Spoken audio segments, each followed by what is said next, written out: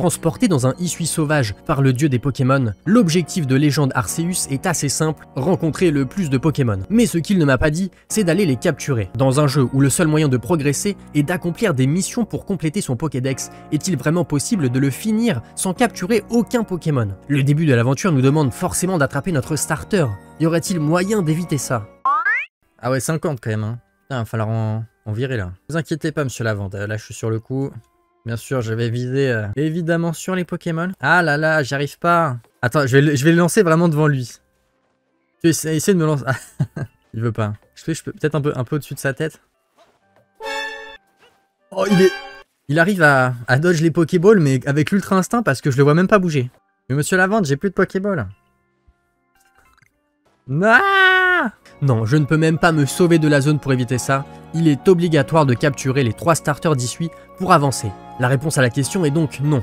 Mais, si on exclut les Pokémon obligatoires, à votre avis de combien de captures vais-je avoir besoin? Eh bien laissez-moi vous le montrer dans cette vidéo et vous allez voir que le chiffre est très inférieur à ce qu'on pourrait imaginer. On est donc accueilli dans le village pour devenir membre du groupe Galaxy et accomplir des missions en échange du gîte. Et jusque là, pas trop de problèmes. En starter, je choisis de prendre Brindibou parce que c'est mon préféré. Et malheureusement, Selena nous envoie déjà choper 3 monstres minimum pour faire nos preuves. On a donc encore des Pokémon à capturer pour faire avancer l'histoire. Arrivé aux plaines obsidiennes, j'ai encore tenté de vider le soc de Pokéball, mais Lucie en a plein les poches, c'était pas censé être précieux ce truc là Bon, Kenotor, Etourmi et Lixi se rajoutent à l'équipe, ce qui fait monter notre nombre de captures effectives à 6, mais toujours 0 optionnel. Selena est donc satisfaite de notre performance, j'évite soigneusement de lui dire que mon véritable objectif est de faire totalement l'inverse de ce qu'elle attend de moi, et elle nous donne notre costume ainsi que notre rang, qui est de 0 étoile pour l'instant. Celui-ci correspond vaguement au badge et chaque étoile va nous permettre de débloquer une nouvelle mission pour avancer dans l'histoire. Pour obtenir de nouvelles étoiles, rien de plus simple, on doit compléter des tâches Pokédex liées à chaque Pokémon, qui consistent à capturer des Pokémon, euh, mais pas que, encore heureux.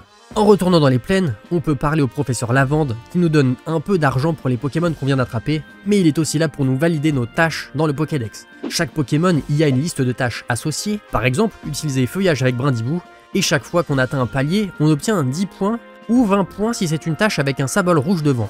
Bon, premier problème, c'est que certaines missions sont infaisables pour notre challenge, du genre les spécimens attrapés, ce qui nous fait manquer des points. Et le deuxième, c'est qu'on doit obtenir 500 points juste pour la première étoile, alors que nos 7 missions accomplies n'en ont rapporté que 120. Alors vous l'aurez déjà compris, il faut aller au charbon et accomplir le max de missions pour les Pokémon que j'ai déjà. En soi, 500 points c'est pas tant que ça, surtout quand on compte le fait qu'accomplir 10 missions sur la page Pokédex d'un Pokémon rapporte 100 points gratuits. Effectivement c'est sympa.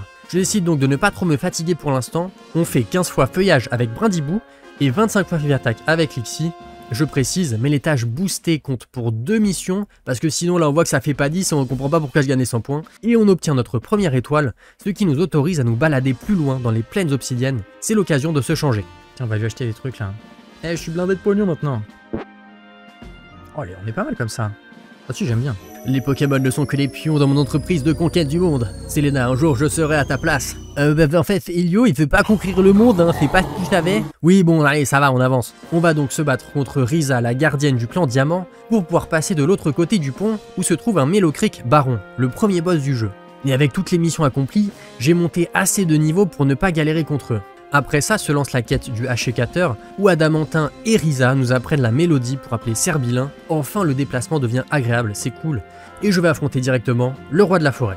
Alors si j'utilisais mes Pokémon, je pense qu'il me les one-shotterait, mais rien ne nous force à faire ainsi, on peut juste spammer les boulettes pour le battre, et ça marche aussi bien. Nakara nous remercie de l'avoir aidé, et vu qu'on est déjà à la fin de la mission, il va falloir farmer les tâches un peu plus fort cette fois-ci. Je vais donc battre plein de Lixi, Kenotor et Tourmi, avec mon Lixi et mon Brindibou, qui ont tous les deux des missions liées au fait d'utiliser certaines attaques, et Brindibou doit utiliser les styles rapides et puissants. On ne peut pas retirer l'animation à chaque fois, ça devient vite très très chiant. J'apprends aéropiquer auprès de Bellila parce que Brindibou la prenait pas assez vite à mon goût, et après peut-être une heure, j'ai complété toutes les tâches accessibles. On voit qu'on n'y est pas encore au prochain niveau, pas du tout même.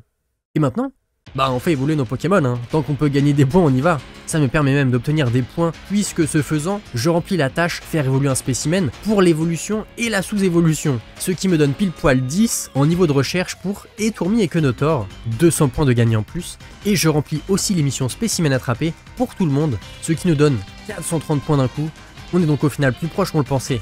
j'ai l'impression d'avoir oublié un truc quand même. Le trio de Kenotor. Oui, mais est-ce que je peux le faire? De capturer, j'ai fait voler mon Castorno. Non, ah, j'ai oublié. Est-ce que, bon, on va, on va tenter avec Castorno, peut-être qu'il s'entend bien. il se sauve. Parce que j'ai pas de j'ai pas de. J'ai dégoûté. Comment je le fais d'évoluer? J'ai oublié la mission, j'y faisais plus attention et j'ai pas moyen de revenir en arrière. J'avais tout bien fait jusque-là. S'il me manque 20 points pour finir ce challenge, je saute d'un pont, dans Légende Arceus évidemment. Ce qui est fait est fait, j'ai encore du point marqué, on se lamentera plus tard. Pour atteindre le prochain rang étoile, je me concentre sur E-Flèche qui a beaucoup de missions et surtout des missions qui peuvent se faire ensemble, c'est bien. J'enchaîne donc les feuillages et aéropiqués en style puissant et rapide, ce qui se fait en une vingtaine de minutes et nous rapporte 400 points. Les 70 restants, je les trouve en apprenant une attaque sol à Castorno, puisque c'est le seul de l'équipe qui peut, et il y a une tâche de Lixi que je ne pouvais pas faire avant et qui est maintenant disponible, le mettre KO avec des attaques sol pour 50 points. Et en allant à l'ouest de la région, on a des Luxio et des étourvols partout, on peut même bien entamer leur tâche, ce qui me fait largement dépasser l'objectif et me permet d'avoir deux étoiles. Notre mission se trouve au Marais Carmin, et bien que les missions de ce jeu soient courtes et peu riches en événements, il faut le dire, je profite parce que farmer pour les tâches, c'est encore pire. On aide Avec son morceau de mur manquant, en le récupérant auprès des détrousseurs. Elle nous fait alors confiance pour apaiser Ursa King, notre nouvelle monture. Pas la plus utile, fois d'admettre. Mais elle nous aide à trouver Marcia, qui a les boules pacifiantes, et on est déjà au boss, Fragile Lady. C'est un boss aussi facile que le premier, l'arène étant assez large et les attaques vraiment téléphonées, et ça conclut nos aventures au marais. Retour au charbon. Le nombre de points pour passer d'une étoile à la suivante devient bien vénère. Vu qu'on a déjà fait notre ami et flèche, je retourne aux plaines obsidiennes pour maxer les trois autres Pokémon de l'équipe. J'essaye de faire le plus de missions en même temps possible. Par exemple, Luxio doit être vaincu, tout court, et vaincu avec une attaque sol. Donc, Castorno s'en charge et fait d'une pierre deux coups. Ou bien, Etourvol doit être vaincu avec des attaques électriques, donc Luxio peut utiliser Croc Éclair, qui remplit aussi une mission de son côté. À part les missions où il faut taper qui sont les plus chronophages disons-le, on a aussi quelques missions plus sympas, comme donner à manger aux étourvols. On leur lance une baie, ils sont heureux, je suis heureux, 50 points gratos. Et la tâche la plus chiante est celle de battre 20 castornos au final, puisque la zone où il apparaît est très petite et il n'en spawn pas à chaque fois, les quenoteurs pouvant prendre leur place. Ce genre de mission anodine finit par me prendre 30 minutes, pas cool je retourne au professeur Lavande qui va me saucer, mais qu'à moitié, vu que bah j'ai fait que la moitié du chemin. Comme tout à l'heure, on n'est pas encore coincé, il faut juste bah, faire évoluer notre équipe, sauf Castorno évidemment. Une petite évolution en 10 génération pour le GOAT? Non, j'ai un peu peur de ce que ça peut donner en fait. Même si je n'ai besoin que d'environ 600 points, je vous avoue que dès que je commence à monter un Poké en général, j'ai envie de tout faire d'un coup. Surtout que le nombre d'attaques que je dois faire devient vraiment aberrant, j'ai pas du tout envie de diviser ça en plusieurs fois. Prenons notre Archéduc, qui, comme toutes ces sous-évolutions, doit taper avec certaines attaques et utiliser les styles de combat. Je dois lancer 90 attaques et faire 80 styles. 80 fois l'animation de ses morts. Je ne ferai pas ça deux fois, je peux vous l'assurer. Un coin plutôt sympa pour farm maintenant qu'on a pas mal de niveaux, c'est les rebords du lac Vérité. Apparemment on n'est pas censé aller là avant qu'on ait Farfurex, mais les murs de ce jeu n'étant que de simples suggestions, notre fidèle monture peut glide jusqu'au sommet assez simplement. Et on a des Luxray et des Étoraptoires là-bas indispensable vu qu'on doit en battre pour accomplir certaines tâches. Je vais donc faire des allers-retours entre la base et cet endroit pour à la fois XP et accomplir des missions. Castorno a encore une fois fort à faire pour remplir des tâches liées à un certain type d'attaque. Il se charge donc de faire des roulades sur les étouraptors mourants et des piétisols sur les luxray. En les prenant par surprise, on a en général assez de temps pour taper deux fois. Bien que le jeu aime bien mettre du brouillard à cet endroit-là, ce qui me fait rater des attaques cruciales pour ensuite mourir d'un rapace, super fun. Au moins les Pokémon ennemis m'aident à remplir les missions d'attaque quand ça arrive, c'est déjà ça de gagner. Une fois toutes les tâches où il faut battre les Poké finies, je n'ai plus qu'à me balader pour faire tous les styles et les attaques nécessaires. Je vous avoue que j'ai pris beaucoup de KO, donc ça m'a pris plus de 3 heures tout ça, dont la moitié à chialer après un raté nul qui me force à revenir en arrière. Mais après l'effort, le réconfort, c'est-à-dire 1300 points encaissés d'un coup auprès du professeur, le rang suivant est largement atteint. Oh là là là. Oh ça fait plaisir de voir ça quand même. Selena nous donne notre troisième étoile pour aller sur la côte Lazuli. Le gardien du coin veut bien nous aider à aller sur l'île Crache-Feu en attirant Paragruel avec son mets favori, mais il faut qu'on aille capturer un Terraclope avec Vibre Obscur pour finaliser le plat. Parfait, on commence à être à court de solutions pour de nouvelles tâches et on a enfin un nouveau Pokémon à capturer. Étant donné que Graham ne nous force pas à aller chercher Terraclope directement, on peut prendre Skelenox pour gagner ses points et le faire évoluer ensuite. On est donc à 7 captures, mais toujours 0 non obligatoire. Pour maximiser les points de Skelenox, il faudra en capturer un baron de nuit et sans qu'il nous repère. Mais après avoir cherché longtemps, je ne crois pas qu'il puisse spawn en baron dans cette zone, donc je ne fais que de nuit et discrètement, tant pis pour la tâche de Noctunoir Alpha plus tard. Skelenox est plutôt rapide à faire, puisque les trois tâches, spécimen vaincu, avec une attaque spectre, et voir l'espèce utiliser châtiment, peuvent toutes être faites en même temps en tuant des Skelenox avec châtiment, il y a juste une tâche qui m'a posé problème, parce qu'il faut effrayer des Skelenox avec des sachets pétarades. Et comme un con, j'ai attiré leur attention avant de les lancer, sauf qu'ils s'en foutent quand ils sont énervés. Du coup, j'ai dû retourner chercher des ingrédients pour en refaire, et c'est là que je me suis rendu compte que malgré l'animation d'onde de choc, qui a l'air plutôt réduite, eh bien en fait ça leur fait peur même à plusieurs dizaines de mètres de là, c'était quand même plutôt simple dans l'ensemble et on peut déjà le faire évoluer. Je fais gaffe de le faire de nuit pour valider la tâche et le reste des missions, on est sur du classique de chez classique. La région est vraiment peuplée en Pokémon, c'est impossible d'en manquer, donc je tue des Terraclopes qui sont comme les Skelenox près des bateaux échoués et en moins d'une heure, on a fini cette page là aussi. Cette fois-ci, pas d'évolution parce que là, je me bloque totalement du reste du jeu si je ne fais pas la quête de Graham. C'est autrement plus grave que pour la quête des Quenotor. Et avec le plat imprégné d'un vibre obscur, on a notre nouvelle monture pour aller sur l'île Crache-Feu.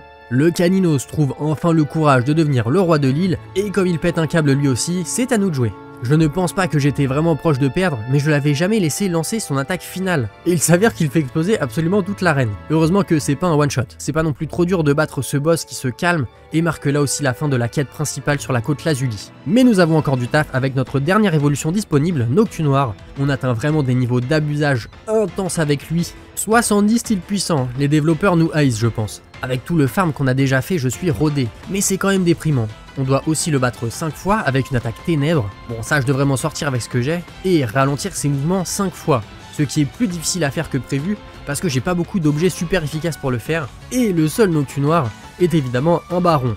Et en plus, comme j'ai dit, les zones sont blindées en Pokémon, et j'avoue que j'ai un peu ragé là. J'essayais tant bien que mal de lui envoyer mes noix grumes pourries, mais quand t'as attiré l'attention de l'entièreté de la zone et que tous les Pokémon ont des attaques à tête chercheuse, ça devient juste ingérable. Et c'est évidemment un Pokémon qui ne donne pas son dos facilement. Si je veux l'affronter avant de crever, je me retrouve en 5v1 et j'arrive quand même pas à le battre. Mon seul réconfort c'est que j'ai à faire ça que 5 fois, ce qui est plutôt raisonnable, et ensuite je spam les attaques en style puissant pour atteindre le quota pour toutes les tâches de Noctu Noir, et on peut enfin aller rendre compte de nos progrès au professeur. Ok. Combien? Ah là là là là là là là là. Le jeu qui nous met un stop. On est à ça. On est à ça. Mais on n'y est pas. Il est donc impossible de finir le jeu sans capturer de Pokémon optionnels. Ceci étant dit, on est quand même bien avancé dans l'aventure, et le nombre de Pokémon nécessaires sera forcément super bas. Ça fait plaisir de ne pas avoir fait tout ça pour rien du tout, le résultat je pense sera quand même satisfaisant.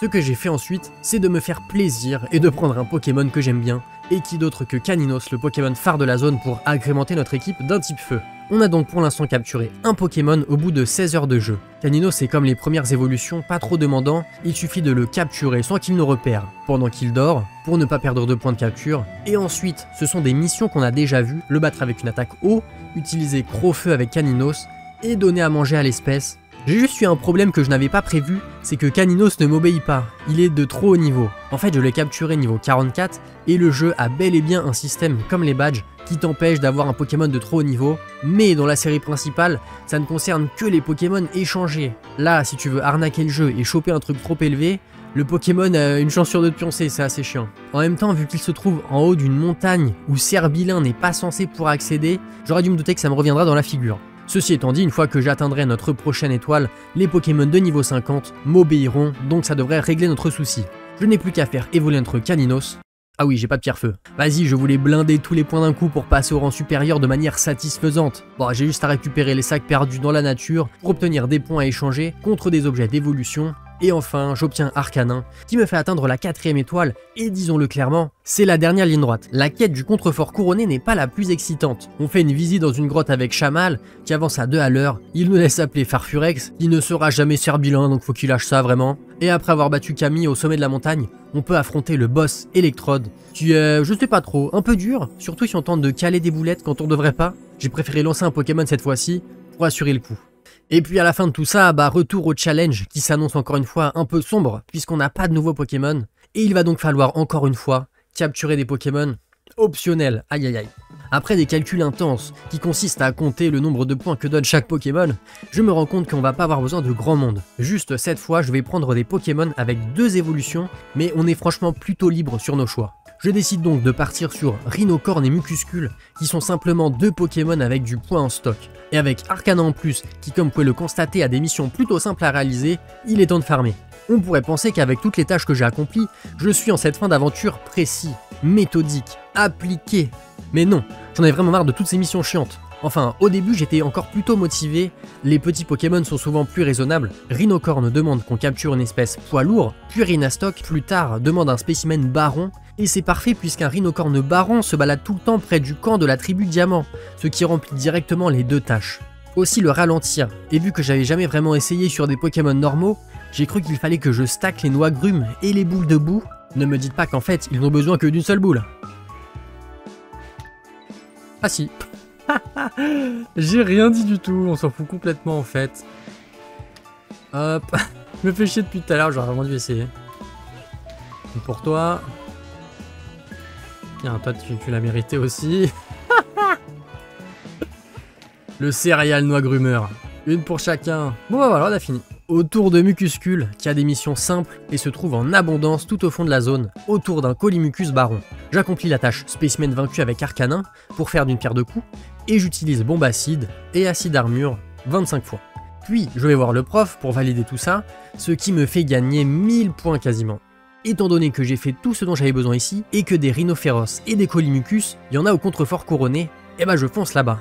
Premier problème ici, il n'y a pas vraiment de colimucus en fait. Vraiment, j'ai reset je ne sais pas combien de fois pour faire recharger la zone autour du baron Muplodocus, et je n'en ai pas vu un seul alors qu'ils sont censés être là.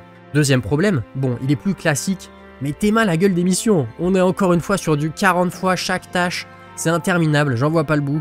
Et troisième problème, j'ai fini par croiser un shiny que j'ai pas le droit de capturer parce que bah voilà, c'est le défi. Ce qui veut dire que ça fait bien trop longtemps qu'on est sur ce challenge. J'ai alors décidé de faire le nombre de points nécessaires, pile pas un point de plus, en me concentrant que sur les missions qui filent du point. Déjà, il faut que je KO le Rhinastock Baron et le Muplodocus Baron, un avec des attaques combat et l'autre avec des attaques glace, ça me permet aussi de les voir faire quelques attaques. Ces points-là, on pourra les encaisser quand on fera évoluer nos compagnons. Ensuite, avec Colimucus qui a Vibraqua, je victimise le plus de rhinophéros possible, qui se prennent des KO avec une attaque haut, et avec Arcanin, je spam bout de feu et grand courroux sur tout ce que je trouve d'un peu faible aux attaques. Ces tâches nous rapportent quand même 200 points elles toutes seules, il faut que je les max.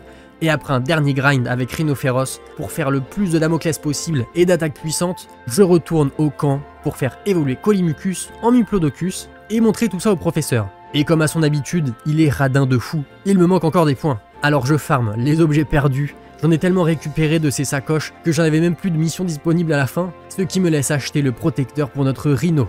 Une petite évolution pour le frérot qui va définitivement nous laisser passer à 5 étoiles. Monsieur Lavande. Oui, oui, oui, vas-y. Dis-moi dis, -moi, que t'as 270 points pour moi.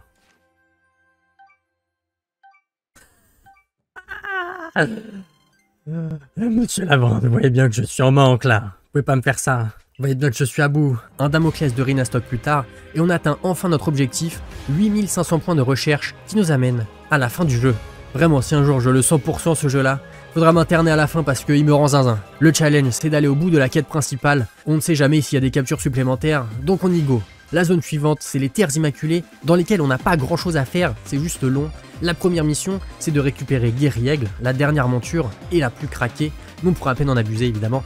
Puis on peut s'envoler du haut des ruines jusque sur ce bloc de glace pour un bout de glace éternelle qui me permet d'attirer Seracrawl, le boss de la zone. Euh, Imo c'est le plus dur de la quête principale, t'es un peu obligé de t'approcher pour le taper, alors qu'il a des attaques qui remplissent littéralement toute la zone où tu peux lancer des boulettes, et il a aussi les roquettes là qui vont à la vitesse de la lumière, plus vite que tes propres roulades, c'est franchement pas cool. Enfin bref, rien d'insurmontable non plus, faut pas abuser, ce qui satisfait Cormier et déclenche la quête finale.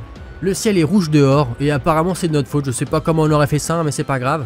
De toute façon, je vous aimais pas non plus, j'ai réalisé aucune de vos quêtes. On se fait bannir du village, et pour sauver la région, définitivement pas Cynthia nous indique qu'il faut trouver la chaîne rouge, comme dans le jeu original, OMG. On va donc dans les trois lacs amuser un peu les créer, qui nous filent chacun de quoi former la chaîne rouge, Au sommet du Mont Couronné, on a un combat contre Cormier, qui laisse place au grand un peu parce que, enfin bon, il sent bien qu'il a pas les épaules, hein. Regardez-le, bouh Étant donné que j'avais choisi d'accompagner Adamantin, j'ai Dialga qui apparaît en premier, et c'est effectivement lui aussi un Pokémon qu'on est obligé de capturer, ce qui augmente de 1 notre compteur de capture. J'avais un peu oublié ça, j'ai cru que mon compteur, il aurait pu faire un 10 bien propre, mais non.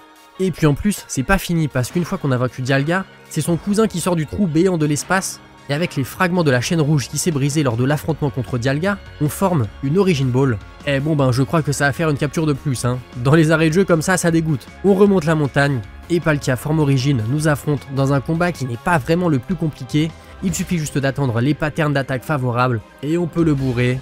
Notre personnage envoie la dernière Pokéball, ce qui monte notre compteur total de capture à 12, et c'est la fin du jeu. Depuis le début, on a donc lancé 12 Pokéballs seulement, un jeu comme Legend Arceus, je trouve ça assez incroyable déjà. Mais si on ne compte que les fois où le jeu ne nous a pas forcé la main pour attraper un Pokémon, alors je n'ai attrapé que 3 Pokémon. Caninos, Rhinocorn et Mucuscule. Franchement, si on avait demandé de jauger avant d'avoir commencé ce challenge, moi j'aurais dit mini une vingtaine quoi. Et au final, le chiffre est ridiculement petit. Dommage que ça soit pas zéro, mais j'ai fait ce que j'ai pu. Sur ce, j'espère que la vidéo vous a plu. Abonnez-vous, likez, mettez un commentaire et je vous dis à la prochaine.